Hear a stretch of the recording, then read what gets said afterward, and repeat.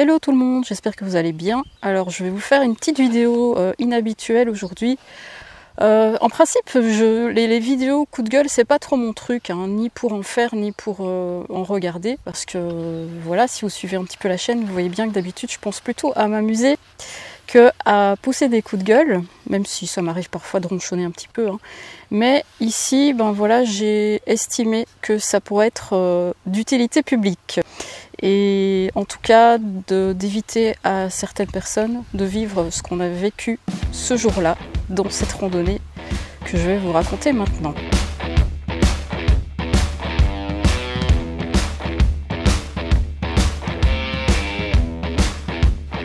Salut Aujourd'hui c'est une vraie journée de vacances. On est dans un lieu euh, bah, dont je vous parlerai un tout petit peu plus tard. Enfin, de toute façon vous avez vu le titre de la vidéo, c'est pas un secret, mais euh, voilà, il y a plein de choses à voir. C'est euh, un peu touristique. Euh, je vous en dirai plus tout au long du chemin. La première chose qu'on va aller voir, je vous dis juste ça, c'est quelque chose qui fait la renommée de, ce village. Ce sont les ruines du château. C'est là qu'on va maintenant. Et le château, il est par là.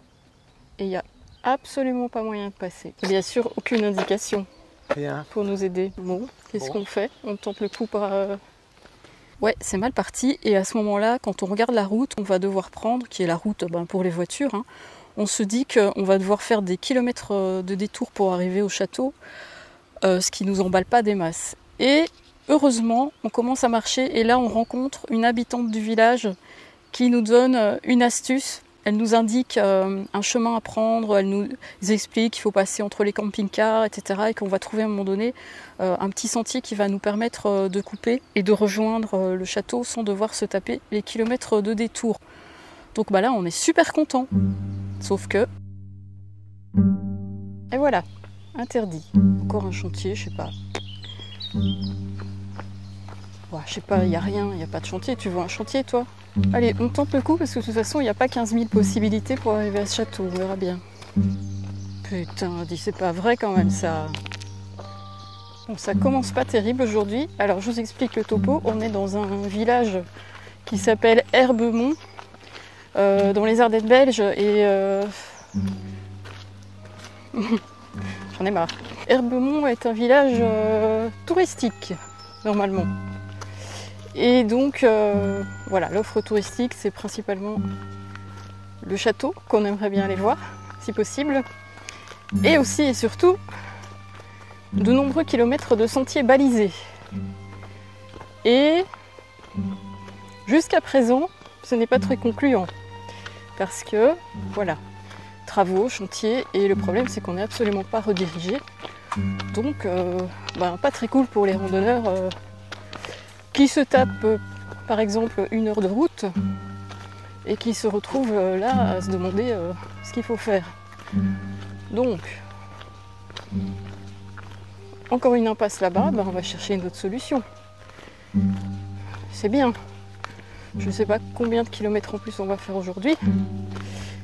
Allez, on continue. Du coup, on fait demi-tour, on se redirige euh, vers les camping-cars parce qu'il nous a semblé qu'en venant sur le chemin de l'allée, on avait vu un autre euh, chemin possible. Donc on veut au moins aller vérifier ça. Nouvelle possibilité par là? Eh bien non, vous savez pourquoi? Parce qu'on vient de parler avec ces randonneurs-là qui viennent de nous dire n'y allez pas, c'est fermé. Et là, les randonneurs que vous voyez là, ils cherchent aussi un, moyen d'aller au château. À mon avis, hein, la seule possibilité qu'on a, c'est de retourner euh, sur le pont, là, le premier pont où on était, et d'aller de, forcer le truc, je sais pas. En mode, oui, en mode sauvage, on va le faire. C'est ça où on abandonne, mais euh, merde quoi. Une heure de route pour, pour pas, pas faire la, la, rando, merde quoi. Et c'est fermé très loin ou c'est fermé que juste ici Faut marcher? C'est fermé avant le pont, parce qu'on a juste vu qu'il y a une barrière. Hmm. Mais peut-être juste avant le barrière, c'est possible. Il y aurait peut-être le tunnel par là alors. Il y a peut-être un tunnel alors, on va, on va au moins essayer. Mhm. Regarde, les gens là-bas, ils, viennent, ils reviennent aussi. Oui, ils reviennent là aussi. Seulement, les deux randonneurs avec le petit chien là, euh, figurez-vous qu'ils étaient passés à l'office du tourisme, parce que bah, même chose, hein, ils étaient bloqués, ils ne trouvaient pas le château, ils ne trouvaient pas comment aller à ce château. Et là, à l'office du tourisme, apparemment, on leur a dit si, si, vous pouvez prendre ce chemin qui est fermé, et à un moment donné, regardez euh, sur votre gauche, vous allez trouver un tunnel, et ça vous permettra de couper et d'aller vers le château. Donc voilà, malgré euh, le fait de savoir que ce chemin est barré un peu plus loin par, euh, par un chantier, on fait une nouvelle tentative et on se met à la recherche de ce tunnel. J'ai jamais vécu ça. Hein. Euh, c'est, disons, pour un lieu touristique qui, qui mise sur ces sentiers de randonnée, il y, a un vrai problème. Quoi. on est en période estivale, quoi. Faut pas déconner. Et puis plein de gens arrivent, t'as vu Ouais, ouais, ouais, on est tous complètement paumé, euh, aucune indication. Enfin, je sais pas, il y a un minimum de respect des, touristes, quoi, des randonneurs, euh, des gens qui se déplacent pour venir ici.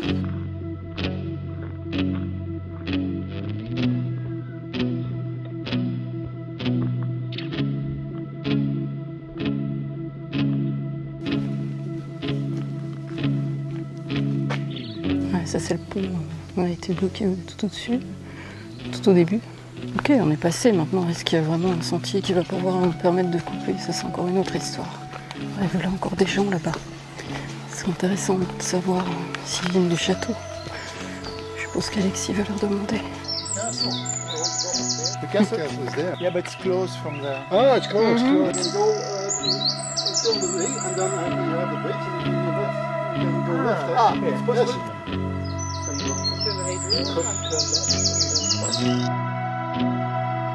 Ça, c'est vraiment. dernière tentative, sinon. Euh, sinon, on va forcer la grille euh, au-dessus du pont. Hein. Euh, là. Putain, combien de temps on a perdu? Ça me saoule. Alors, un petit point sur la situation après avoir vérifié sur ma carte là. Je pense qu'on va pas tarder à rejoindre l'itinéraire, mais pas du tout à l'endroit où on voulait aller. Euh, par contre, voilà, à mon avis, on va le faire dans le sens inverse. Ce qui nous emmènera quand même au château, hein, mais euh, pas tout de suite, tout de suite. Ce sera, à mon avis, euh, la cerise sur le gâteau à la fin de la promenade. Et la question après, ça sera de voir comment on fait pour repartir du château. sans se retaper tout en marche arrière, mais bon, on verra bien ce moment-là. Donc, euh, oui, je sais pas. C'est la surprise aujourd'hui. C'est la surprise. Bon, bah voilà, la randonnée, c'est ça aussi en même temps.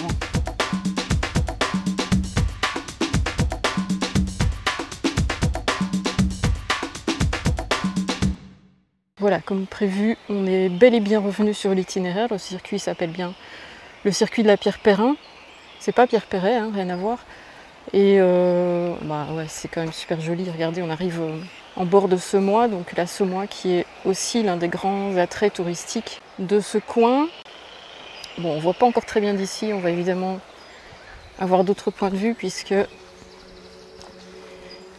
voilà, c'est par là qu'on va et on va marcher le long de cette Semois pendant un bon moment. Waouh, ça a l'air super joli.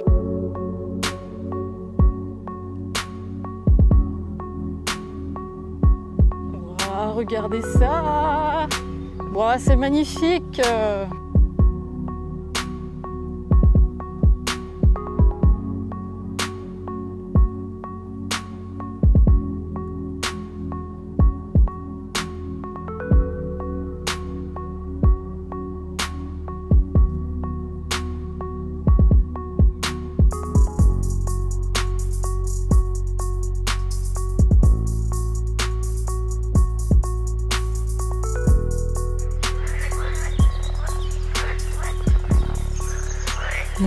c'est des crapauds, je sens un peu de planquer quelque part là-dedans. Ah oui, j'en vois un, j'en vois un. J'en vois un. Alors comment vous le montrer euh, Parce que c'est la même couleur que les feuilles, hein, ce bazar-là. Voilà, voilà. C'est ces petits bazars-là qui font tout un concert. Et voilà, voilà, voilà. Excellent. Voilà, ça bouge. Ça bouge. Salut Salut, waouh, tu gonfles tes joues, excellent, j'adore. Salut, salut. Bon, ça va, vous n'avez pas trop peur. C'est vous qui faites tout ce potin-là? Eh ouais. Il était des gros yeux, tout globuleux. Quand on réalise qu'on retrouve le circuit qu'on voulait suivre, qu'on voit la, semoie, à quel point euh, c'est beau, c'est calme, il n'y a, personne, quoi. C'est vraiment super paisible, qu'il y a un super coin pour euh, prendre euh, un pique-nique tranquille au bord de l'eau, et que en plus de ça, après, on aura une magnifique promenade qui va suivre la semoie pendant assez longtemps. Là, voilà, toute la pression tombe d'un coup, on se dit, enfin, va, voilà, ça y est, c'est le moment où on va profiter de notre randonnée. Est-ce que vous voyez ce que je vois là? Ça commence à ressembler vraiment à une mauvaise blague, je trouve. Qu'est-ce que c'est ce délire encore? Vous savez ce qui me saoule particulièrement C'est que pour préparer cette promenade, je suis allée sur le site officiel. Et là, devinez quoi? Aucune indication d'interdiction. Hein. Cette promenade, elle est toujours présentée et toujours euh, offerte au public. Hein. Donc là, il y a quand même un gros problème. On va forcer la barrière d'en haut. On va arriver au château, par là, point barre, et on fait un aller-retour. Mhm. Parce qu'ici, bon, ok, euh, si c'est pas sécurisé, c'est pas sécurisé, on va pas prendre un risque s'il y a des. Voilà, c'est pour des raisons de sécurité. Qui, mhm, mhm. Là-bas, c'est un chantier, on peut braver le chantier, on s'en fout. Mais ici, on en a Ici, je, voilà, s'ils ont estimé qu'il y avait des problèmes, on va quand même pas le faire. Oui, oui, oui. oui. Mais c'est non, mais ne pas, prévenir les gens, quoi. Ne pas prévenir les gens. Tu laisses l'offre touristique sur le site et tu dis rien. Et tu laisses les gens. T'as vu, il y a des gens qui venaient de Bruxelles, il y en a qui venaient de. Quoi, de, plus loin encore, qui parlaient en, anglais. Enfin, il faut pas déconner, quoi. Tu laisses les gens venir et quand ils arrivent sur place, tu leur dis non, désolé. Parce que tout est, tout est cadenassé, trois fois. Ah ouais, non, il y a moyen de passer nulle part. On va forcer, mais je veux dire. Euh, Allez, on est reparti pour remonter. Donc vous savez quoi, si vous cherchez une belle promenade à faire comme ça le long de l'eau, hein, au bord de l'eau, je vous recommande d'aller à Bouillon. C'est pas très loin d'ici, c'est à 25 km d'ici. Bouillon, il y a un superbe sentier comme ça euh, qui longe l'eau pendant tout un moment. Euh, j'avais fait une, euh, vidéo, enfin c'était pas une vidéo, c'est plutôt une comment j'appelle ça, un, diapo quoi, un diapo avec mes petits commentaires en voix off. Euh, vous pouvez aller voir ça, je vais vous mettre le lien, regardez la, fiche qui apparaît quelque part ici au-dessus de moi. Euh, parce qu'elle n'apparaît pas, comme ça euh, publiquement sur la chaîne, mais voilà, vous pouvez y accéder par cette fiche. Si vous cherchez ce type de sentier, hein, tranquille au bord de l'eau, c'était super, je me, souviens, j'ai un bon souvenir. Bouillon, bouillon et pas herbemont. voilà le conseil du jour pour vous. Aujourd'hui, c'est le jour de la fête de la musique, figurez-vous. C'est d'ailleurs pour ça qu'on ne vous jouera pas de musique aujourd'hui. On se dit que pour une fois, quelqu'un allait bien s'en charger à notre place. Donc il y a un petit concert qui est prévu à 15h dans le village. Mais on a perdu plein de temps. Donc euh, ce qu'on a décidé de faire maintenant, c'est de retourner à la voiture, de prendre la voiture, de rouler jusque ce château qu'on a quand même bien envie d'aller voir on va bien trouver une solution. Et ensuite, de retourner voir le concert. Si c'est possible, hein. s'il n'y a pas encore euh, des impasses, des obstacles ou je sais pas quoi, des embûches, des conneries, des farces. On va pas s'en sortir. Vous êtes arrivé. Vous êtes arrivé. Tu vois un château, toi, quelque part? Non. Ouh. Non, je crois qu'il n'y a aucun moyen. Ah, sauf si on va par là et qu'on monte après. Putain, c'est quoi ce délire On peut euh? monter à pied, je pense qu'il y a moyen. Tu te gares ici. Elle me dit qu'on est au château d'Herbemont. Je crois que tu te gares ici et on va à pied. Mais regarde, il y a encore une barrière Et ouais, il y a un moment où vous êtes quand même au bord du pétage de plomb, hein, quand ça s'accumule comme ça. Mais voilà, on n'abandonne pas, on a décidé d'aller voir les ruines de ce château et euh, voilà, on essaye encore une autre route un petit peu plus loin. Attends, attends, on va l'essayer l'autre l'autre euh, truc là-bas, non? Ouais, il y a nouveau un travaux quoi, c'est pas vrai, un passe, 400 mètres, il y a des gens qui vont à pied, regarde. Bah écoute, je peux aller voir jusqu'où on peut aller et. Euh... C'est un cauchemar ce truc. je reviens pas. Ouais, c'est tout ça. Il laisse en plan tous les trucs. ah bah tiens, regarde. Mais pourquoi ils nous disent que c'est barré? Bah oui, c'est barré là-bas. Putain, c'est pas vrai, on va y arriver quoi. On va y arriver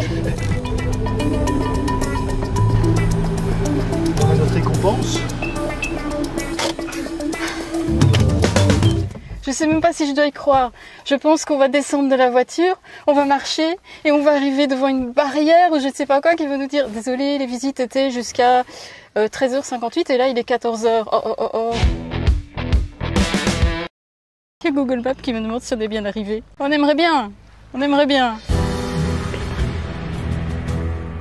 Je vous assure que si je monte ça, je veux, je veux avoir accès au château. Sinon, j'achève le travail des troupes de Louis XIV.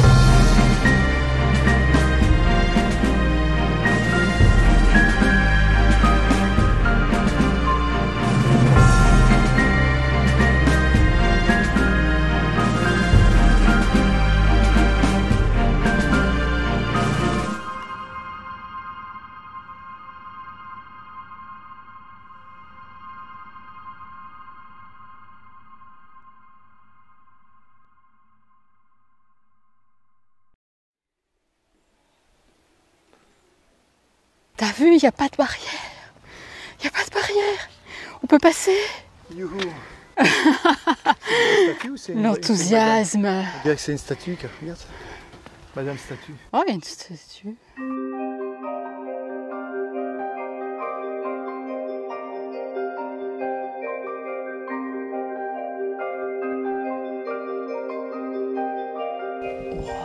Ah non mais regardez cette vue quoi.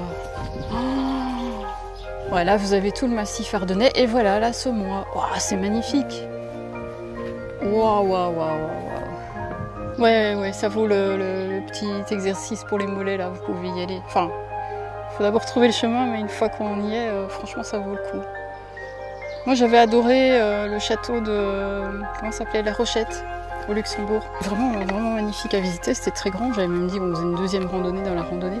Mais par contre, euh, la vue n'était pas aussi spectaculaire. Enfin, c'était une belle vue, mais sur la ville, quoi. Mais ici, vraiment la vue sur la Semois et le massif ardennais.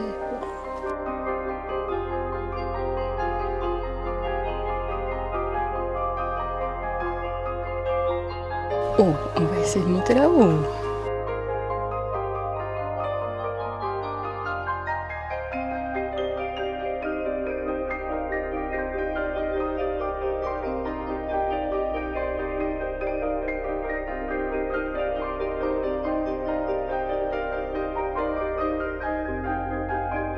Ici, ça me fait penser, euh, tu sais, quand on était allé au château à Metlar, en Allemagne, pour la randonnée de Noël, on, était monté aussi, aussi tout au-dessus, comme ça, et euh, il y avait une vue un peu similaire, c'était sur la Sarre, sauf qu'il y avait plein, plein de brume, mais c'était super beau aussi.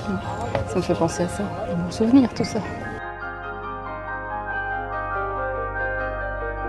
L'histoire raconte qu'il y a très très très très longtemps, un chevalier Arrivé euh, précisément à cet endroit, remarqua subitement des nymphes en train de danser au clair de lune de l'autre côté de la semois.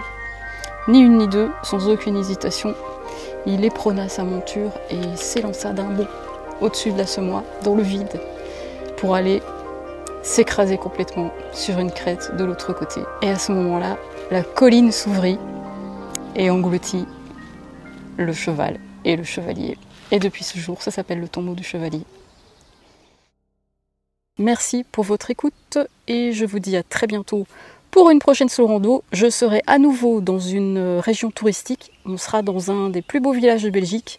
Et là, vous allez voir, tout tourne bien. à bientôt.